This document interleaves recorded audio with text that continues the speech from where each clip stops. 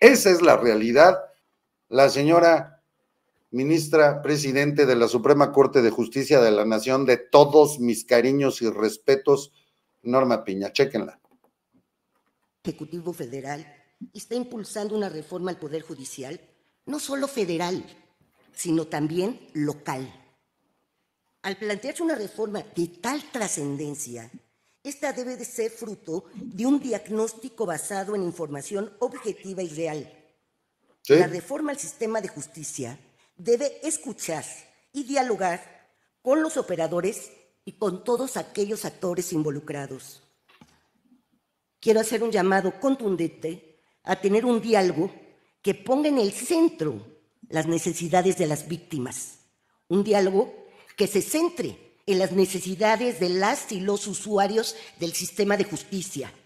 Quiero reiterar la importancia de tomar en cuenta los insumos de este encuentro nacional. Reconozco que se necesita una, reforma y la misma tiene que incluir cambios en la Judicatura Federal. Es cierto, es perfectible. Pero no puedo dejar de señalar que para que realmente se ofrezcan soluciones que atiendan las principales necesidades que hemos detectado a través de este encuentro nacional, es indispensable considerar el problema de manera integral.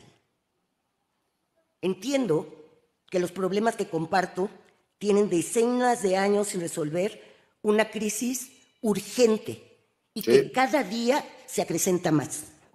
Justamente por eso, lo peor, lo peor que podríamos hacer es acelerar un diagnóstico o bien hacer pensar que la solución está en remover a quienes estamos enfrentando este reto, este reto como parte de un sistema, pero no es el sistema en su conjunto. Claro. No podemos caer en la salida fácil. No podemos empezar de cero. El contexto tan complejo que vive nuestro país no permite la improvisación. Ello no beneficiará a los justiciables, al contrario, supone un retroceso en la protección de los derechos humanos de las personas, poniendo en riesgo la continuidad de la impartición de justicia en nuestro país. Sí, señora. Lo peor que le puede pasar a México es caer en la incertidumbre. Sí, señor. La existencia de un poder judicial federal autónomo e independiente, ajeno a los vaivenes de la política, es un requisito indispensable para la defensa de nuestra democracia que tanto nos ha costado construir. Si la reforma judicial se aprueba en sus términos, ya no llegará la persona más capacitada al puesto.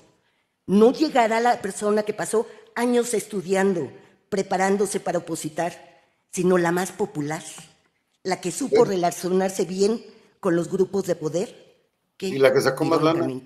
Es uno de los argumentos de esta reforma. Es decir, se provocará lo que se intenta erradicar. La realidad es que la reforma no aborda el problema de raíz.